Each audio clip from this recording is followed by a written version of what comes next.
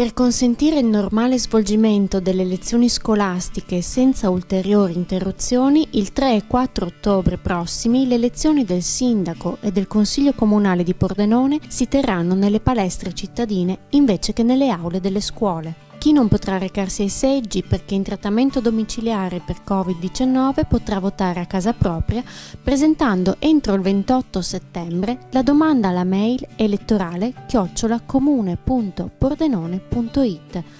Tutte le informazioni e l'elenco dei nuovi seggi sono reperibili alla pagina web comune.pordenone.it slash seggi.